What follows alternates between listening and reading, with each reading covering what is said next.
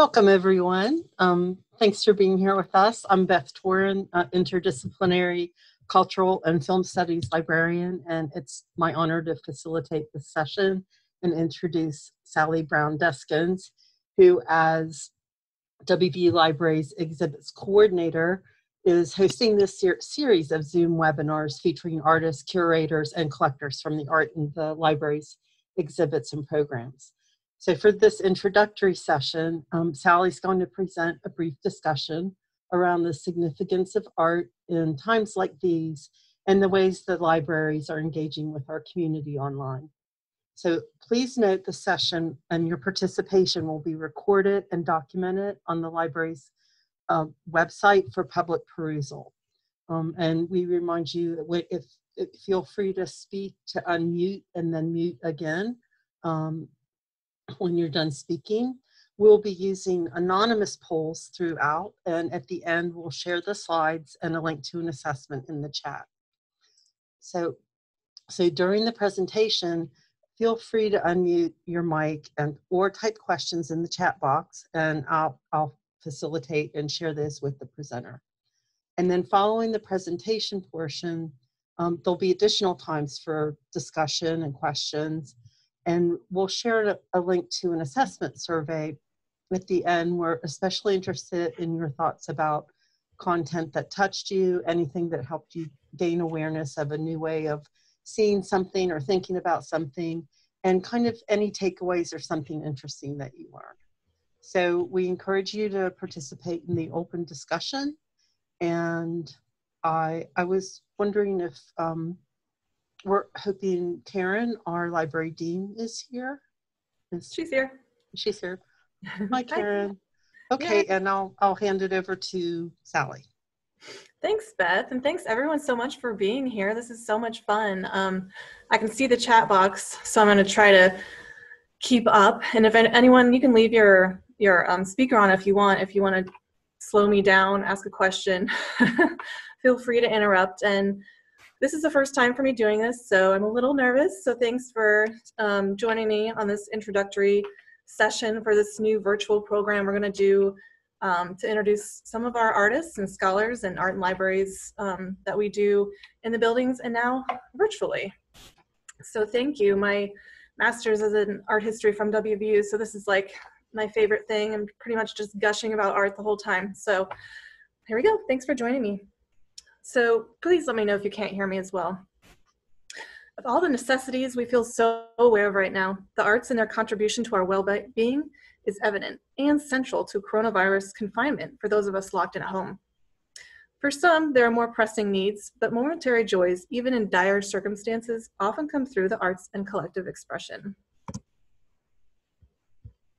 All right. As a mom, if my kids interrupt, you'll see I'm a mom, curator, and lecturer in multidisciplinary studies. I constantly try to encourage myself, my kids, and students to find artistic perspective and appreciate different ways of seeing. In this world of a plethora of online images, it's crazy to think about the amount of imagery we see every day. So this book uh, was a required reading in my undergrad as an artist. It's one of my favorite books I come to, back to time and again. You can also see this series of this guy presenting in the 1970s on YouTube, is an art critic, John Berger. He wrote in his 1972 book, Ways of Seeing, quote, we never look at just one thing. We're always looking at the relation between things and ourselves, unquote. This is more true now than ever. We're in an era where art is everywhere and free. The masses can appreciate art as the cultured minority once did. In this time of crisis and isolation, the role of art becomes more central to our lives, whether we realize it or not we can easily take for granted the superabundance of media in front of us. Our consumption habits, including if not especially media, form who we are, our values, our inclinations. In this time of restriction, media offers us a chance to be mobile. Art connects us to new perspectives, and in our current context, it also connects us to a world where anything is possible. Galleries, libraries, archives, and museums are responding by offering virtual tours like this of the Sistine Chapel. I actually did this just the other day. It's amazing. I visited the Sistine Chapel when I was 17, but it was completely crazy crowded, and I did not get to see it the way I can see it um, virtually today. So I encourage you to check that out. And there's also an article yesterday in the New York Times featuring a bunch of different um, international virtual tours you can take that I linked here in the presentation. All right, somebody's familiar with ways of seeing. Cool, thank you. Did you like it? All right. There are also tons of online exhibits available. The Smithsonian Museums, um, right here, the National Portrait Gallery has a lot of great online exhibits, as well as Google Art and Culture. I love the Frida Kahlo exhibit. It's amazing. I encourage you to visit it as well. I think there's another poll with that one. Beth. I am not seeing how to move to the next poll. Thea, help.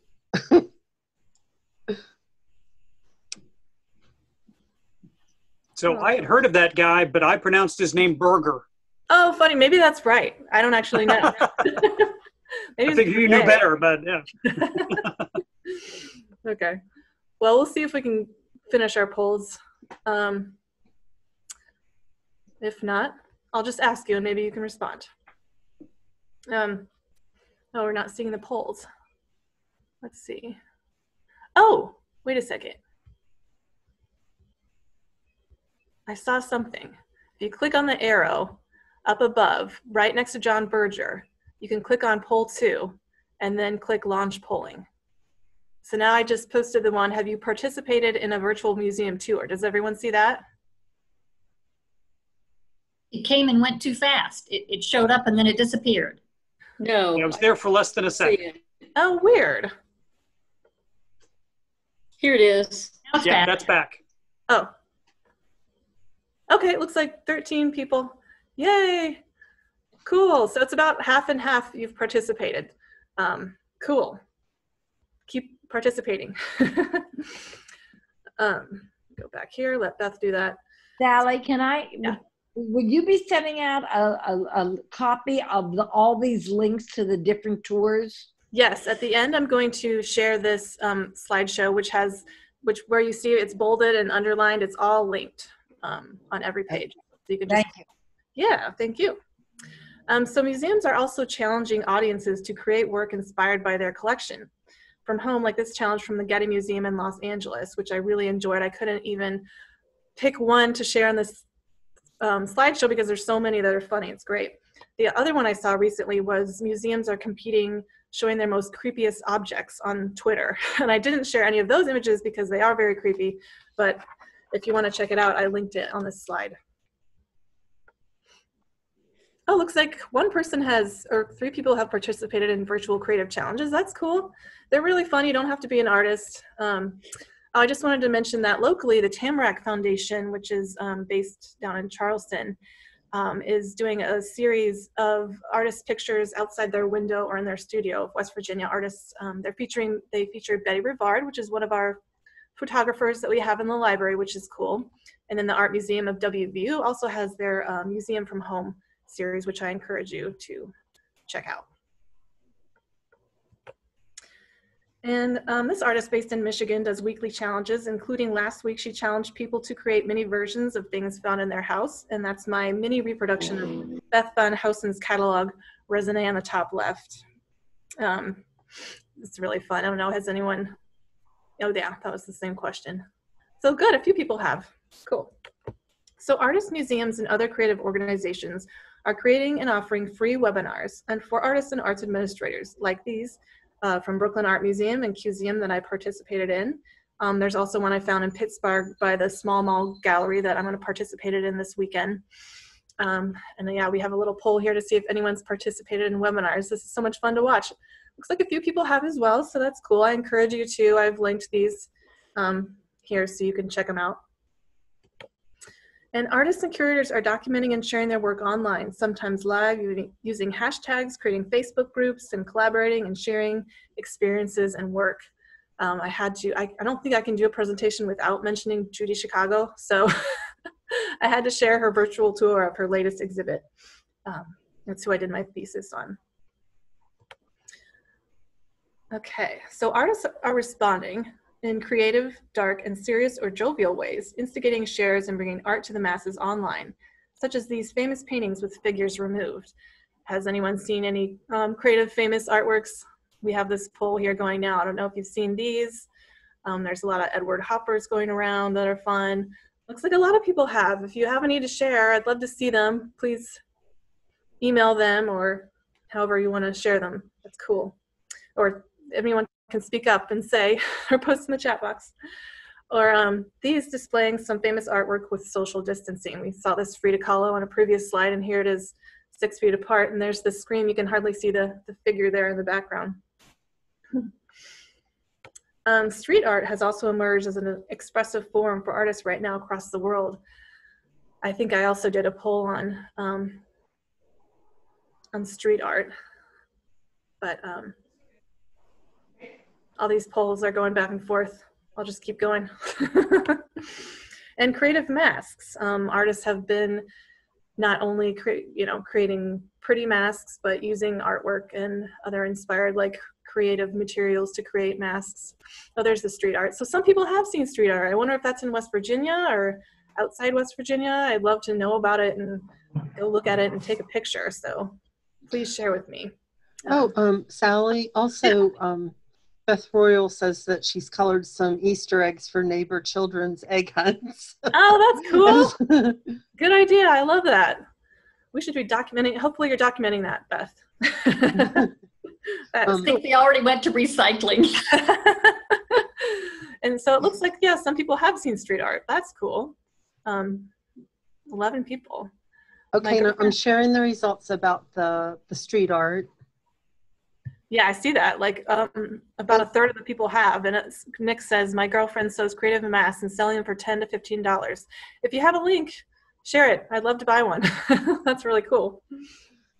So, oh, Kari um, Gunter Seymour says that Athens, Ohio has street art on their famous wall. Cool.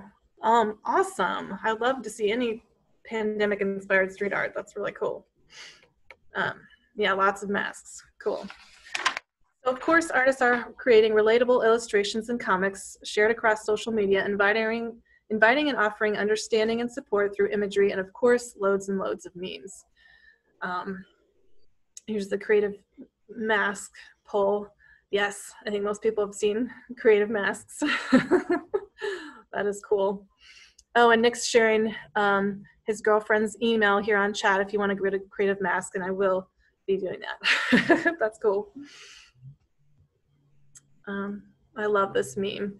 Um, Purell earrings, girl with the Purell earrings. That's cute. Has anyone seen any creative memes with art, pandemic inspired? I'm sure. Sidewalk chalk in South Park. That's cool. Awesome. okay, so what about libraries now? I think I take a break from polls for a few minutes. The library's main mission isn't one of exhibiting or collecting art. Libraries, along with galleries, archives, and museums, seek innovative ways to engage and evolve learning. I do have a poll. I forgot. Have you participated in any art and libraries programs? Thank you. As library content becomes digital and learning becomes more engaged virtually, exhibitions provide new ways of engaging intellect and creativity. Libraries evolve into a new sort of space, physically and digitally. Still a space for research, learning, and study, but also for community engagement and collaboration, presenting a unique opportunity for both collaborating artists and scholars and viewers. Ideas are protected and encouraged, and resources are plethora in this neutral, preserving space where some wouldn't normally seek exhibitions or find themselves. It looks like most of you have participated in our programs or our exhibits, so thank you so much. If you want to name where you've been in the chat box or what exhibit, that's cool. Um, WVU Art and Libraries program was developed in 2015 to showcase university faculty work. I think we have a lot of the founding committee members on the chat. Alyssa is one. It is expanded to be a program unique to the other art organizations on campus to provide true interdisciplinary, cross-campus, and community collaborative exhibitions featuring diverse scholarship and creative work through integrated designs and interpretive curation. Yay, Judy, the water exhibit, cool. Okay. The most recent example is Appalachian Futures, a juried exhibit featuring contributions of 50 scholars, practitioners, and creative artists from sciences to humanities and community organizers. As exhibits coordinator, I curated with the designer the, their multidisciplinary work together into a cohesive exhibition with themes specific to the space of the main campus, campus library, building on and challenging the boundaries of both publications and exhibitions. This exhibit is scheduled to travel to libraries across the region. Oh, Annie shared a pic of American Gothic COVID edition. That's cool. I'll have to check that out. Thank you, everyone. This is so fun. So there are some interactive features to Appalachian Futures and also some online features to the exhibit, including these posters that come to life with augmented reality by Reed College teaching assistant professor David Smith, and the virtual YouTube tour of the speculative futures section of the exhibit made by my intern who's here today. Thank you. Uh, there's also a soundtrack by Gangsta Grass linked on the Appalachian Futures exhibits page as well, and it's linked here. And I also have the QR codes at the end if anyone wants to try them out. Other examples include our mini class partnerships, including a graphic design class who visits uh, the Appalachian collection of books in the West Virginia Regional History Center with Stewart Plein, and they redesign classic Appalachian book covers. It's really cool. I also have some painting classes that um, I grouped together some photos from the History Center's digital on view collection, and they create uh, paintings inspired by them. You can see this one here is from a group of um, photos taken in, in Russia in the 1960s and 70s. So they come up with really cool results. We also build on the functions of the libraries as a bridge of a community re resource and collaborative space by spearheading a public art guide. And we collaborated with both WVU and community arts organizations to put this together. It was a tremendous project that you can download on the Greater Morgantown and Visitors Bureau website. And we were also grateful to get a community engagement grant for that project.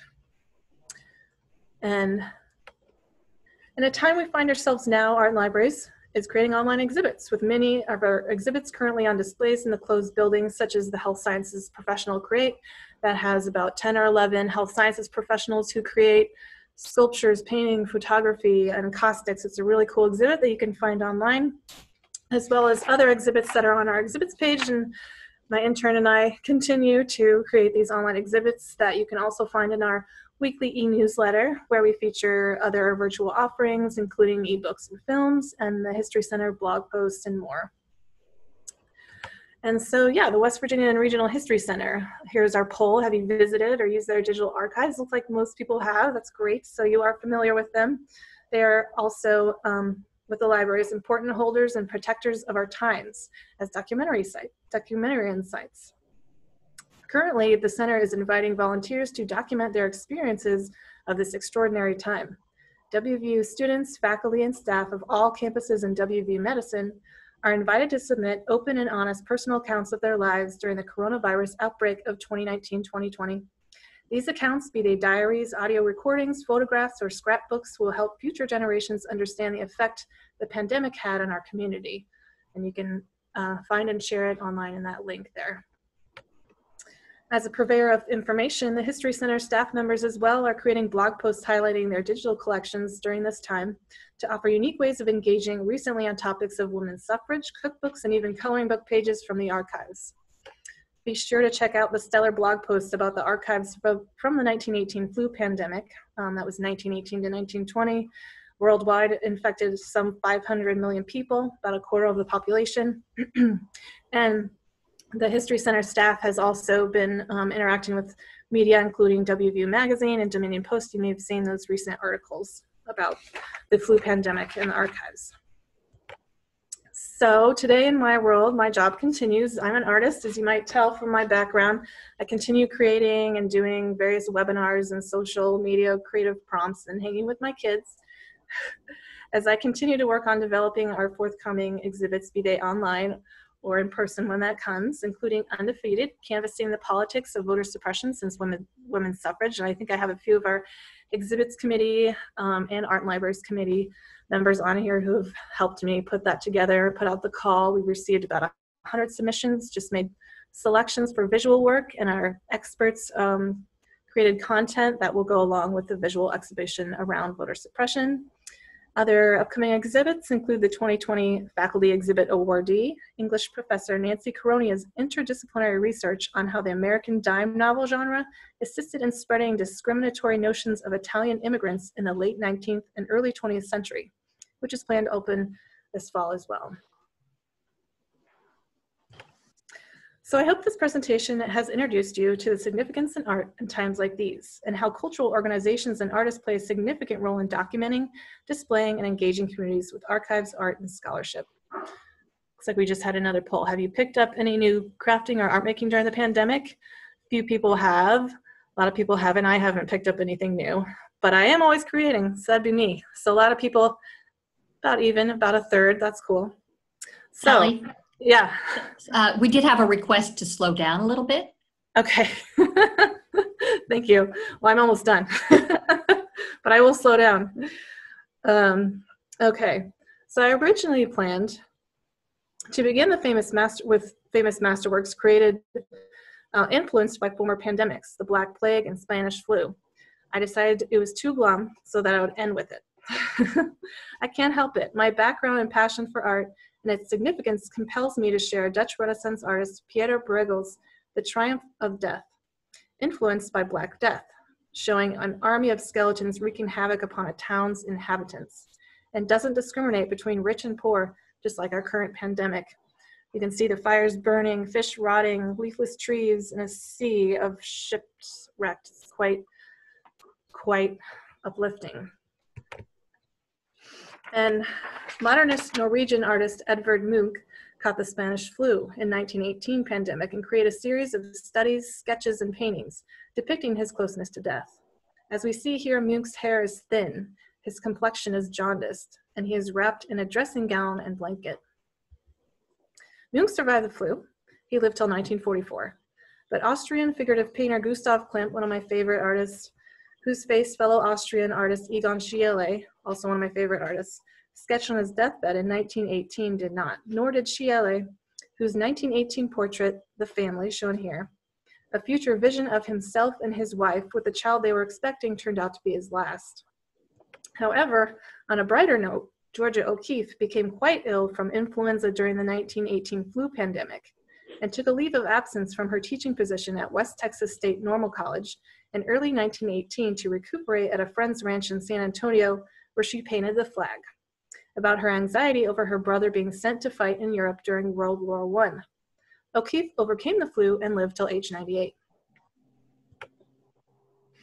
Of course, the impact of epidemics, fictitious or not, has been described in, um, and experienced in the past in other arts such as music, literature, and film, such as Virginia Woolf's essay on being ill and her novel, Mrs. Dalloway. Art offers solace, sometimes a giggle. It also instigates resistance, change, and expresses the soul of our time. So in that light, we'll be documenting some artists in our time. The forthcoming presentations from artists in our exhibits invite you into a more personal view of their work and perspective. We hope you'll continue to join us. Thank you so much. Um, this artwork here is um, Kari Gunter-Seymour, who I think is here today. It's lovely work. She will be featured in our next um, online session. And so if you'd like to share any any questions, I can go back. Um, if you'd like to share what you've learned or anything um, that touched you, any other responses, we're also going to post a survey. And yeah, feel free to open up your microphone or type in the chat box. We also have, the, I think this is the last poll that I did. what was your favorite pandemic masterpiece mentioned today? Wow, it's pretty split.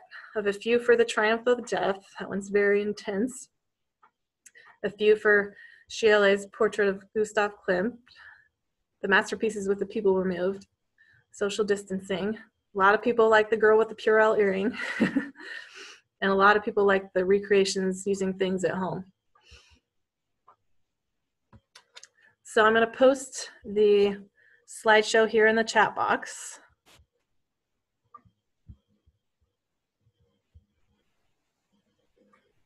Annie, go ahead.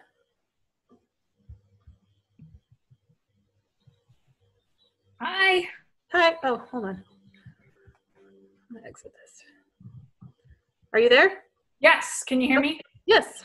Okay. I was just wondering, you may have talked about this in your presentation, but is there any kind of like repository or anything that any of us artists in our WV community are can post about um, the COVID crisis and like artworks in response to the pandemic? You mean like locally, WVU wise, or just like a general publication about it? Just, I think like just kind of, I just keep seeing like social media posts and things too. Um, I was just wondering if at WVU if they'd talked about like having any kind of like virtual gallery of artwork contributed by the community or things like that. Um, Like a place where we could put all the things that you were talking about, like the street art pictures of that, or well, I if is there anyone here that works with the library's repository that could talk about that? I was just, uh, so this is Jessica. I don't work with the repository, but um, the uh, West Virginia Regional History Center is hoping to collect stories, and I think that they would also inclu- include artwork and those kinds of things from the WVU community.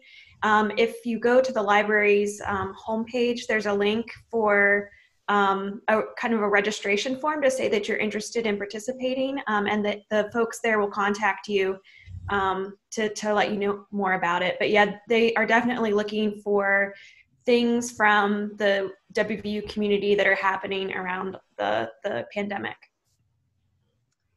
Hi, this is Debbie Borelli. I'm the Institutional Repository Manager here at WVU.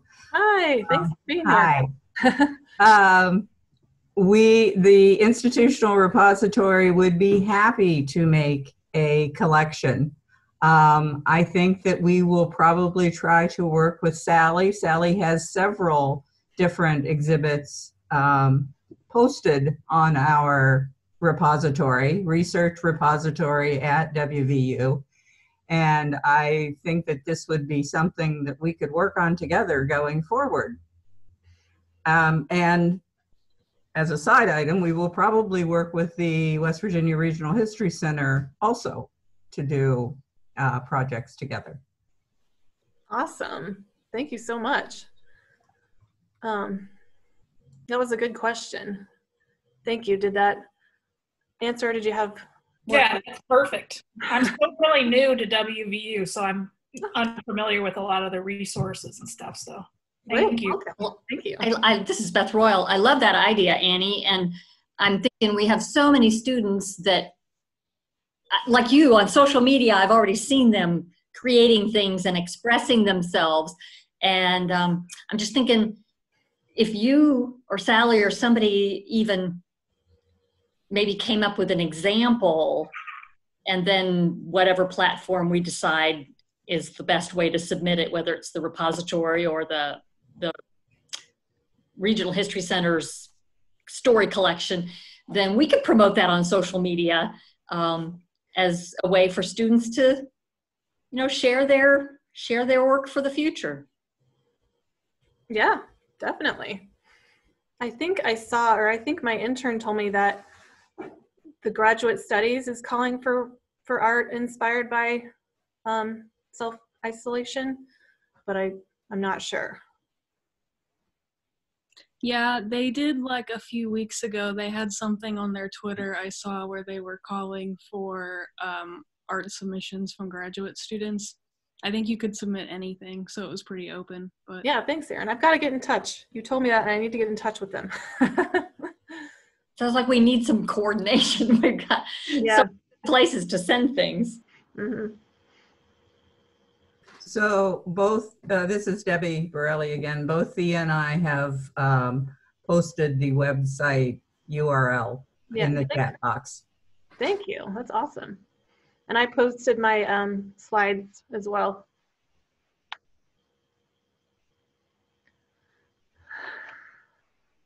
Um, any other thoughts, comments, questions?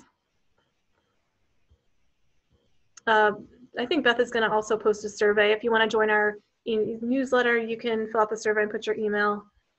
Um, or you can email me. My email's on the slideshow. Beth, go ahead. Oh, yeah. So as we wrap up, we invite you to assist in planning uh, future sessions and by completing the brief assessment survey link I'll put in the chat right now. And you can also use that survey to sign up for the art in the library's newsletter.